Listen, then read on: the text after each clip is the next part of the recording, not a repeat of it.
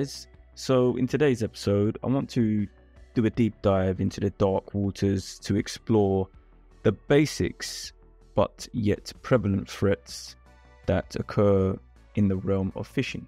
So, if you're new here, make sure you subscribe and hit the bell icon for more content like this and to stay tuned with HT and the Ace. So, what exactly is phishing? In a recent research report from Cardiff School of Technologies, it was defined as, and I'll let my deepfake voice take over from here. A socio-technical attack in which the attacker targets specific valuables by exploiting an existing vulnerability to pass a specific threat via a selected medium into the victim's system. And utilizing social engineering tricks or some other techniques to convince the victim into taking a specific uh, action that causes various types of damages. Scary good, isn't it? And that's just scratching the surface in terms of what is available in terms of AI voice deepfake manipulation.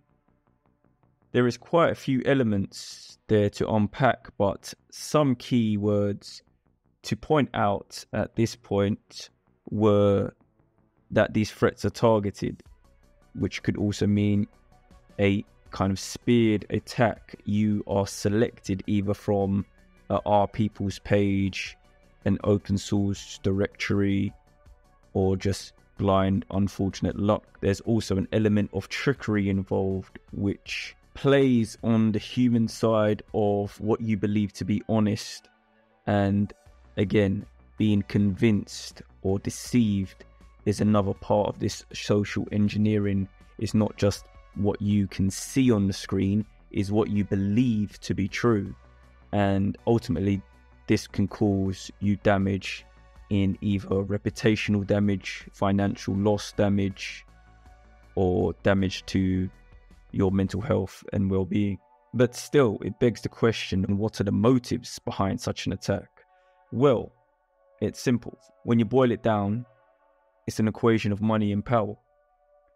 Now, speaking of power, we have to refer to the great and now passed away French philosopher Michel Foucault, which I've kind of spliced together in terms of how he references power and my interpretation of phishing. Now, I would call these outcomes tolerable, only on the condition that the fish can mask a substantial part of itself meaning the facade of the fish can only work if it's believed, and that's where the social engineering aspects kick in. So it's no surprise then that phishing is the most common hacking technique, with a recent survey showing 90% of corporate security breaches are a result of phishing attack. Now, I personally have seen rubbish quality phishing attacks and phishing attacks that have used cloning to further enhance the quality of the fish.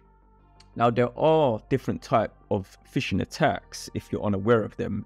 You have your typical email phishing, which is when a bad actor registers a fake domain to mimic a genuine organization. Most commonly, this could be a government agency, Amazon, or eBay are the most obvious ones.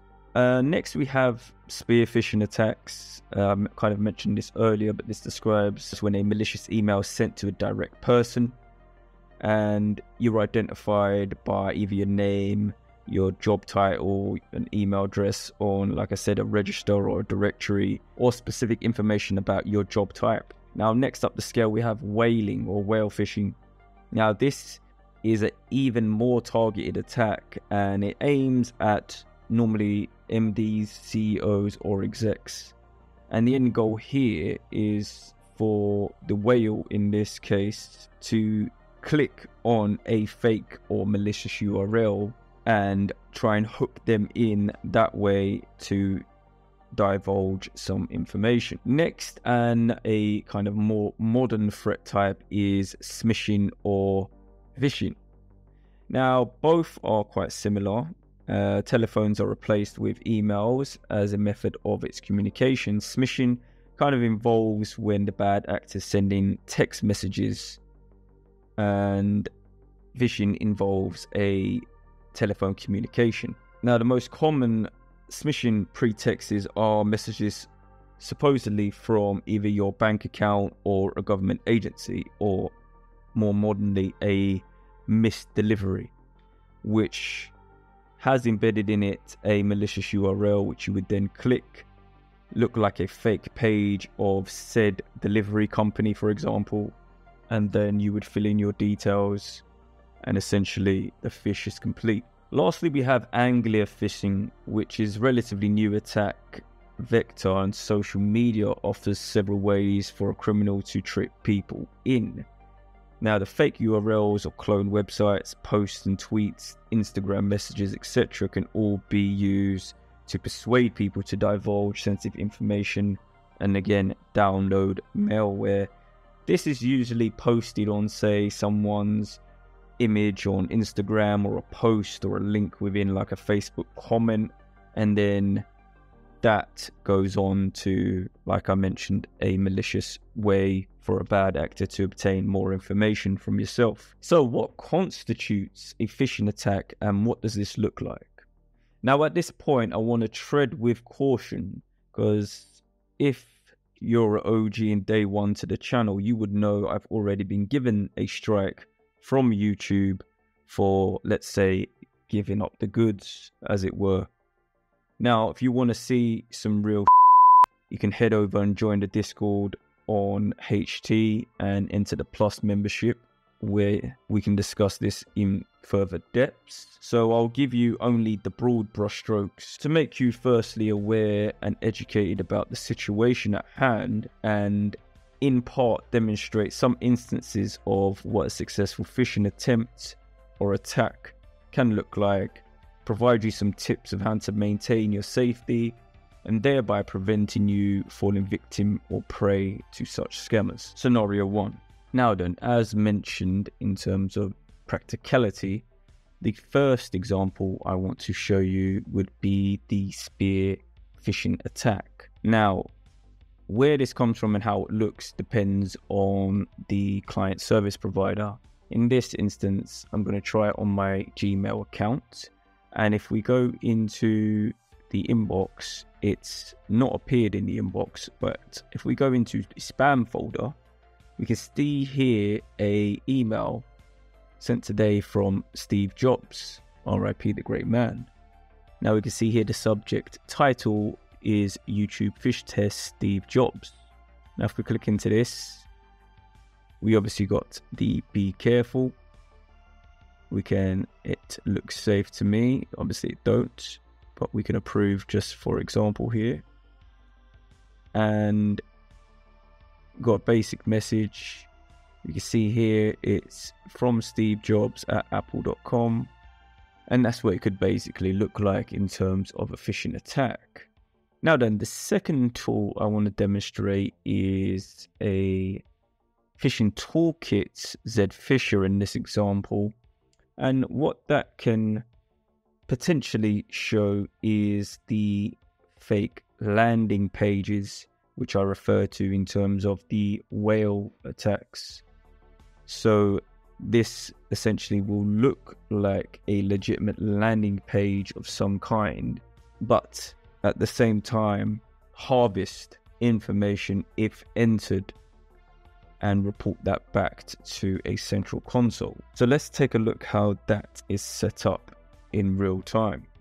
Now then, we have the framework available to us and I'll provide just a screenshot of what that looks like on the screen now.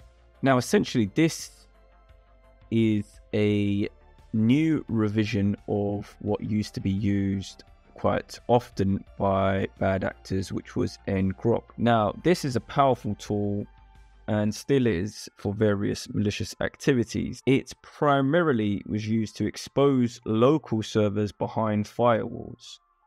Um, and that itself is a huge concept, probably dedicated to its own video, but essentially exposes your local servers to the public internet by creating what's called a secure channel. Now, you can understand how this could be misused uh, to bypass network security measures in terms of gaining remote access, setting up and spinning up C2 frameworks, botnet infrastructure, malware distribution, the list goes on. Back to the issue at hand for this one, it's kind of evolved past ngrok and it's using a mixture of Cloudflare or CDN technology and certain dependencies like local expose. So for this example, we're going to pick on Discord because it's so heavily used right now anyway. Now, like I mentioned, it gives you three options here. We either have the local host option, a Cloudflare option, or the local expose option. So let us test it on the Cloudflare version. And here we can see we are asked to create a custom port. We don't need to, but we can if we wanted to. Now, by default, it uses port 8080, which is good for HTTP. For HTTP, and now we can mask the URL even further once it has created it. I would say no for now, but essentially it uses Tinify or TinyURL to mask that URL. Now we have the URL available to us in three different forms nonetheless. In three different forms nonetheless, we have a favor confusion, which gives us the Cloudflare base. We have an is.gd, which is kind of like an obfuscated version of the URL and we have another version of that as well. So now if we open up the browser and we go to the link in question, now we can see what appears to be, at least on the face of it, a Discord website for us to enter our email address and password with a QR code to boot. Now, if we were to inspect this element, bearing in mind most people will run for the hills when they see this, but we're not most people out here. When we go into the console and the sources, we can see first of all the styling of this page, which of course is if it's been scraped accurately, it would mimic and mirror what has been done officially. But if we go into this login HTML, now this is where it gets interesting. We can see some reference here to a fake Discord with a MIT license. It obviously says this is a fake page to demonstrate how phishing works. So there's already a nod to the open source developer on that front to show you that this is just for educational purposes and how a scrape actually does work. So that's one way to determine it. The other way is obviously to look at this URL. And although the site is secure in terms of its being a Cloudflare kind of spin off, what is not secure is once you enter your data into this field. So if we give that a go, so if we say Penace and the password is obviously the best in the world, and then we hit login, what do you think will happen? Instantly, we are redirected to the official Discord URL.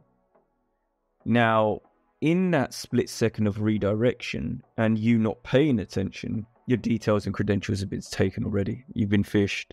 And it literally is that quick because if we head back over to our attacking machine, we can see that, first of all, a victim IP has been found.